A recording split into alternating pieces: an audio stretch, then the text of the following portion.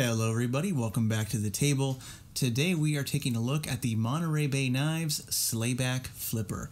And so the Slayback is not a new design entirely to Monterey Bay Knives, but this latest iteration has some really cool features in it that I wanted to point out and might make it worth a pickup on your part. So the standout feature of this newest titanium handled Slayback is the ZDP 189 steel blade. So what we have here is a Sanmai ZDP 189 blade. And when I even think of the ZDP 189, that is a blade steel that I have not heard about in a very long time. And so maybe it's a little bit more uncommon nowadays, but this particular one is very nicely made, very nicely done. And it's a Sanmai, which means that the ZDP steel is sandwiched between two layers of a 420J2.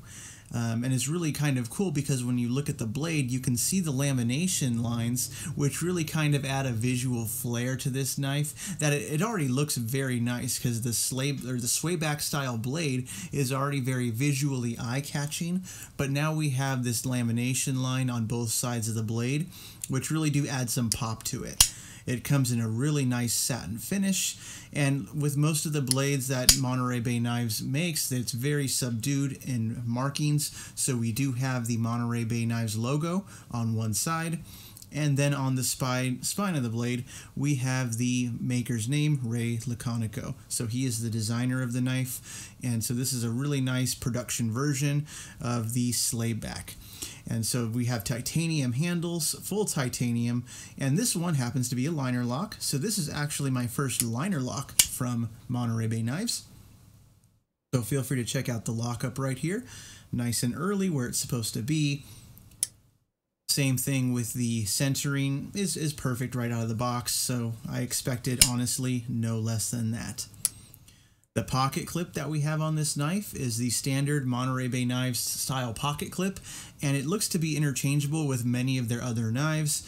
Um, so this one you could also pick up the Damascus clip, and so we can see a real quick comparison between the standard clip and the Damascus that I have on my old guard right here.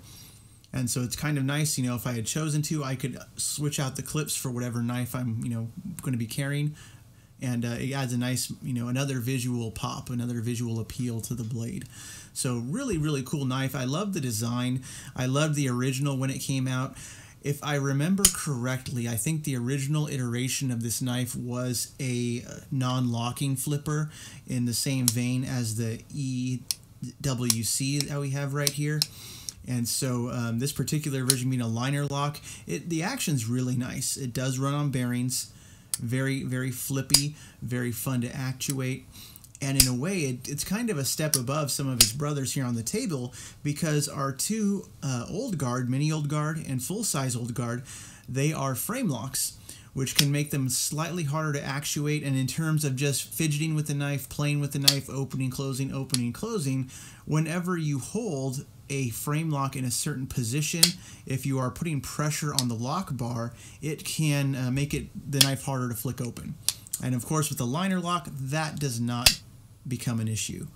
So really cool to play with this knife, but of course the main standout feature is this blade, ZDP 189. As far as I know, still is a very standout super steel.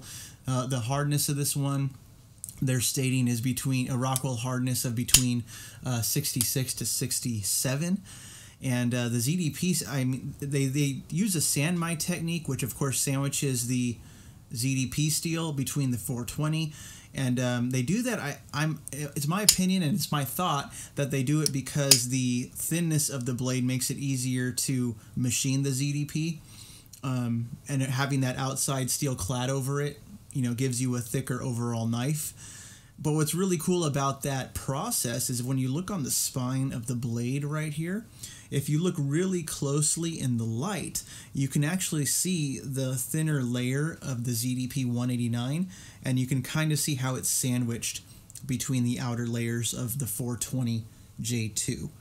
So that's really cool.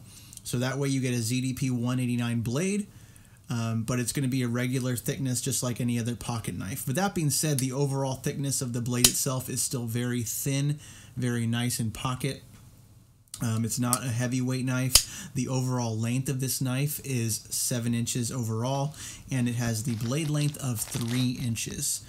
Uh, also very lightweight, comes in little tiny bit over three ounces. They advertise 3.1, and I got a little less on my scale, but it is um, lighter than either of the old guards that we have on the table.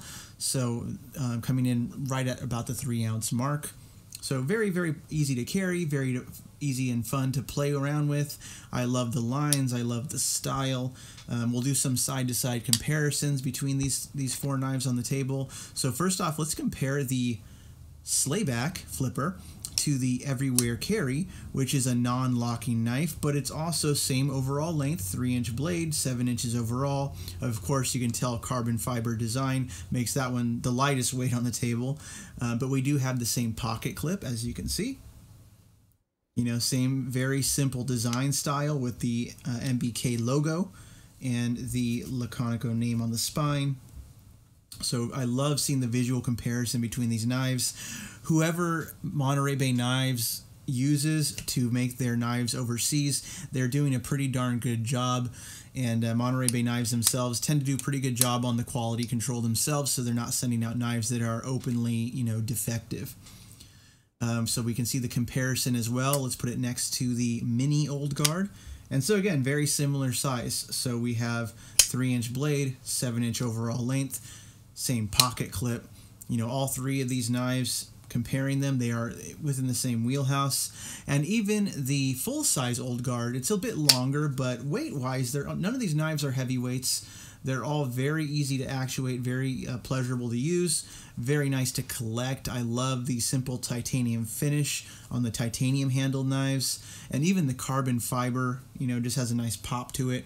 So it sounds like I'm gushing over the knife because, of course, straight out, first thing out of the box, it, it's a very positive first impression.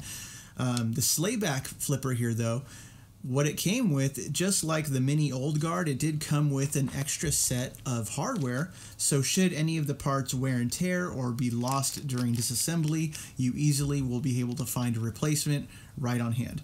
So you don't necessarily have to send this knife in in case you know you're taking it apart to clean it and the stop pin flies across the room you'll have that part here on hand to fix it yourself. Uh, but one thing you will notice, and it's one thing they actually mention on their website selling this knife, um, a disclaimer for the ZDP 189 blade. It is Sanmai, and you can see the lamination marks on either side of the blade. And they, they will openly state that there's a good chance they're not going to be perfectly symmetrical on either side of the blade. So if you're a very um, perfectionist, and they have to be perfectly equal. You know, they're openly saying, hey, just due to the process, you know, we can't guarantee that they're going to be even. And on mine, one side is slightly wider than the other. Does that really detract from the design for me? No, not at all. They wouldn't have had to even mention that. I just understand, you know, that's just the way the process is. And it's totally cool to see it this way, you know. And so this outer cladding of 420 J2, from what I've read, it, it will be not quite as uh, scratch resistant. So if you do carry and use this, you can expect to see some really honest wear on the knife. And that's, you know, up to your preference whether you carry and use this or whether you keep this as a collector item. Um, of course, all these knives on the table are designed to be used and carried every day, so don't be afraid to use the knife. That ZDP is going to work really well. Um, maybe a bit hard to sharpen, um, at least that's what I've heard. I've never had the opportunity to sharpen a ZDP 189 blade, but uh, maybe I will pretty soon. Uh, but that being said, this is definitely a really nice collector piece for me. It's going into my MBK collection. It's going into my uh, Ray Laconico collection. So I'm happy to share my first impressions with everyone out there. So if you do have any questions about this particular knife, feel free to leave a comment below. I would love to see what you think about the Slayback Flipper. Um, gosh, it's just a gorgeous knife, and I love sharing it with you all. So I hope everyone has a great day out there, and bye bye.